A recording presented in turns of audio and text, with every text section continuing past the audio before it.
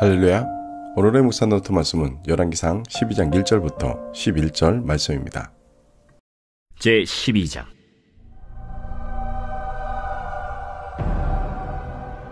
르호보암이 세겜으로 갔으니 이는 온 이스라엘이 그를 왕으로 삼고자 하여 세겜에 이르렀습니다. 느밧의 아들 여로보암이 전에 솔로몬 왕의 얼굴을 피하여 애굽으로 도망하여 있었더니 이제 그 소문을 듣고 여전히 애굽에 있는 중에 무리가 사람을 보내 그를 불렀더라. 여로보암과 이스라엘의 온 회중이 와서 르호보암에게 말하여 이르되 왕의 아버지가 우리의 멍에를 무겁게 하였으나 왕은 이제 왕의 아버지가 우리에게 시킨 고역과 매운 무거운 멍에를 가볍게 하소서. 그리하시면 우리가 왕을 섬기겠나이다. 르호보암이 대답하되 갔다가 3일 후에 다시 내게로 오라. 함에 백성이 가니라. 르호보암 왕이 그의 아버지 솔로몬의 생전에 그 앞에 모셨던 노인들과 의논하여 이르되 너희는 어떻게 충고하여 이 백성에게 대답하게 하겠느냐? 왕이 만일 오늘 이 백성을 섬기는 자가 되어 그들을 섬기고 좋은 말로 대답하여 이르시면 그들이 영원히 왕의 종이 되리이다. 하나 왕이 노인들이 자문하는 것을 버리고 자기 앞에 모셔 있는 자기와 함께 자라난 어린 사람들과 의논하여 이르되 너희는 어떻게 자문하여 이 백성에게 대답하게 하겠느냐? 백성이 내게 말하기를 왕의 아버지가 우리에게 매운 멍에를 가볍게 하라 하였느니라. 함께 자라난 소년들이 왕께 아뢰어 이르되 이 백성들이 왕께 아뢰기를 왕의 부친이 우리의 멍에를 무겁게 하였으나 왕은 우리를 위하여 가볍게 하라 하였은즉 왕은 대답하기를 내 새끼 손가락이 내 아버지 허리보다 굵으니 내 아버지께서 너에게 무거운 멍에를 매게 하였으나 이제 나는 너희의 멍에를 더욱 무겁게 할지라 내 아버지는 채찍으로 너희를 징계하였으나 나는 전갈 채찍으로 너희를 징계하리라 하소서 우리 모두는 하루하루 수많은 선택을 해야 합니다. 어떤 음식을 먹을지, 또 어떤 일을 먼저 할지, 어떤 사람의 말을 들을지, 이러한 선택들은 우리의 삶을 결정짓습니다. 그런데 어떻게 하면 올바른 선택을 할 수 있을까요? 또 어떻게 하면 하나님의 뜻에 따라 살아갈 수 있을까요? 오늘은 바로 이러한 분별의 지혜에 대해서 이야기하려고 합니다. 물론 지혜의 원천은 하나님이십니다. 그러나 하나님은 우리에게 자유의지를 주셨고 또 그 자유의지를 어떻게 사용하느냐에 따라 달라지게 됩니다. 이를 명확하게 보여주는 구절이 바로 느호보왕 왕의 이야기입니다. 느호보왕 왕은 세 가지의 큰 잘못을 했습니다. 첫째는 공동체의 요청을 무시했다는 것입니다. 두 번째는 성숙한 사람들의 지혜로운 조언을 무시했습니다. 그리고 세 번째 미숙한 사람들의 조언을 따랐습니다. 이 세 가지 잘못을 통해 우리는 어떻게 분별의 지혜를 가질 수 있는지를 배우게 됩니다. 먼저 첫 번째 잘못을 살펴보겠습니다. 그것은 바로 공동체의 요청을 거절한 잘못입니다. 여로보암 왕이 세겜에서 왕위로 즉위했습니다. 세겜은 언약의 땅 그리고 이스라엘 중심지 중 하나였습니다. 그곳에서 느호보암 왕이 백성들로부터 하나님께서 이미 예정하신 대로 왕이 되었습니다. 그러나 왕이 되자마자 그는 백성들의 요청을 무시했습니다. 하나님은 다윗 왕과의 언약을 기억하셔서 느호보암에게 세겜에서 왕 즉위의 기회를 주셨습니다. 세겜은 언약 갱신의 상징적인 장소이기도 하고 또 북쪽 이스라엘 지파의 동조가 필요했기 때문에 이곳을 선택한 것입니다. 하나님은 이러한 중요한 시기에 여로보암을 애굽에서 불러나 느호보암을 만나게 합니다. 그렇다면 하나님께서 여로보암을 느호보암에게 보낸 이유가 무엇입니까? 이것은 하나님이 느호보암에게 주신 마지막 기회이고 긍정적으로 예언의 말씀을 성취이기도 합니다. 앞선 본문에서 살펴본 것처럼 하나님의 언약은 불순종한 솔로몬에 대해 심판을 계획하셨습니다. 하지만 다윗과의 언약을 기억하셔서 공유를 베푸셨기에 느호보암이 세겜에서 왕이 될 수 있었습니다. 다시 말해 하나님은 온 이스라엘이 그를 왕으로 세울 수 있는 기회를 주신 것입니다. 만약 백성의 요청대로 솔로몬 왕이 고역과 무거운 멍에를 가볍게 해 주었다면 많은 백성들의 지지를 얻을 수 있는 기회를 가졌을 것입니다.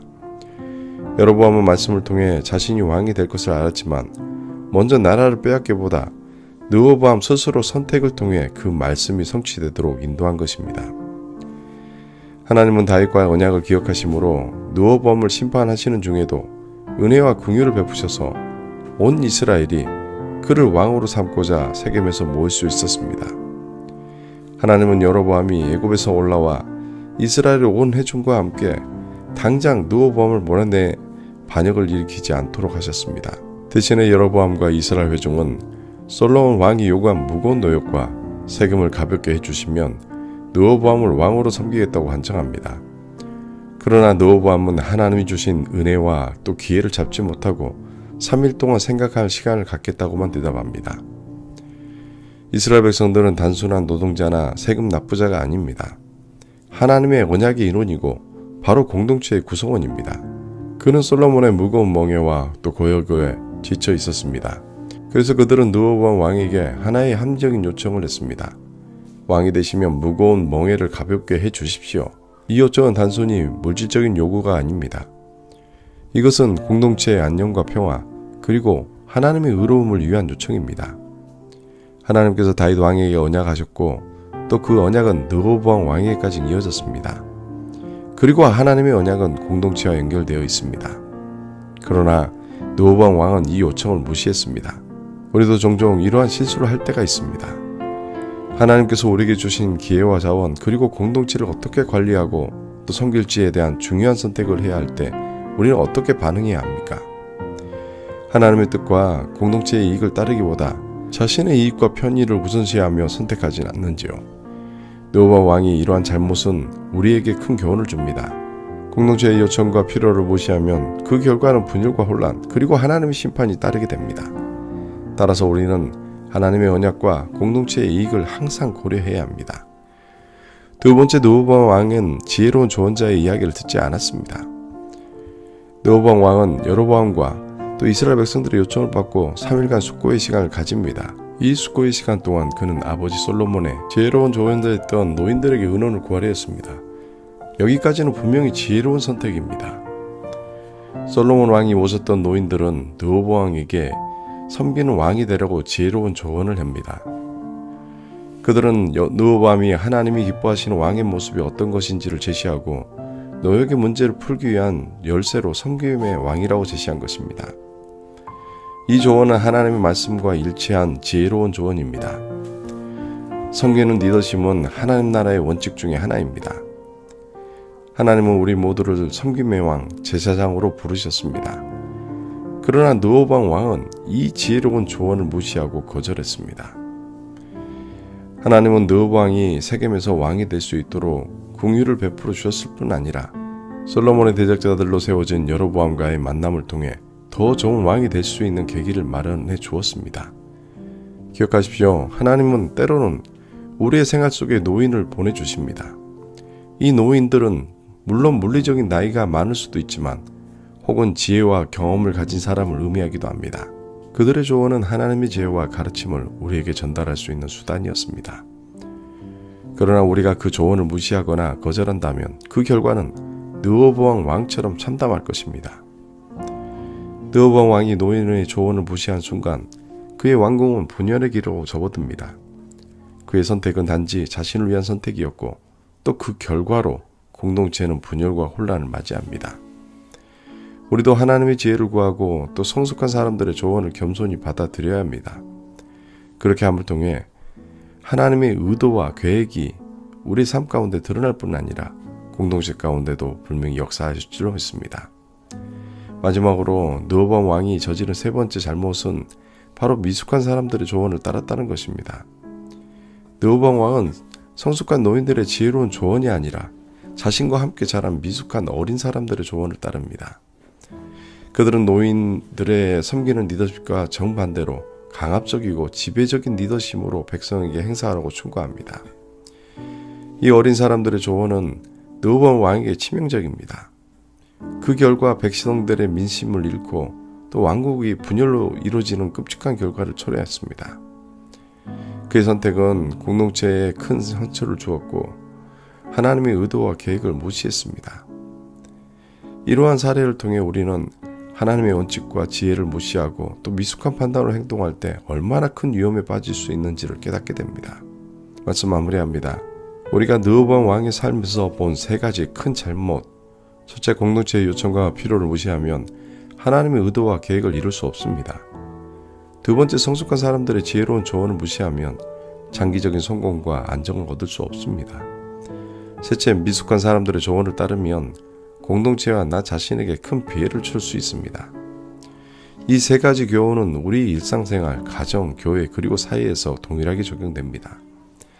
하나님의 말씀과 지혜를 우선시하고 또 성숙한 사람들의 조언을 소중히 여기는 것이 얼마나 중요한지를 다시 한번 생각해 봅니다. 우리가 이러한 원칙을 지키면 하나님의 축복이 우리 삶에 넘치게 될 것입니다. 그리고 우리가 섬기는 공동체도 건강하고 활력 넘치는 곳이 될 것입니다. 하나님의 의대로 살아가려면 지혜롭게 선택하고 행동해야 합니다. 그 선택과 행동이 곧 우리의 삶을 결정짓게 됩니다. 마지막으로 모든 것을 주관하시는 하나님께 우리의 선택과 행동을 주시길 원하시는 지혜와 분별력을 주시길 기도합니다. 그리고 우리 모두가 하나님의 영광을 위해 그리고 이웃을 사랑하는 데 있어 가장 효과적인 삶을 승리하며 살길 주님의 이름으로 축원합니다. 함께 기도하시겠습니다. 하나님, 오늘 하루도 우리에게 주신 말씀을 통해 하나님의 지혜와 궁율 그리고 공동체에 대한 중요성을 다시 한번 깨닫게 하시니 참으로 감사합니다. 하나님 우리가 지혜를 구할 때 그 지혜가 단순히 인간의 지혜에 그치지 않고 하나님의 지혜가 되게 도와주시옵소서. 뿐만 아니라 우리가 공동체의 일원으로 살아갈 때 그 안에 하나님의 궁율과 또 사랑과 정의가 빛나게 하여 주시옵소서. 하나님 우리가 세상에서 마주하는 여러 가지 시련과 또 결정해야 될 상황 속에서도 하나님의 말씀과 지혜로운 조언을 따르게 하시고 또 성김의 마음으로 살아갈 수 있도록 주여 은혜 내려 주시옵소서. 감사드리며 예수님의 이름으로 기도합니다. 아멘.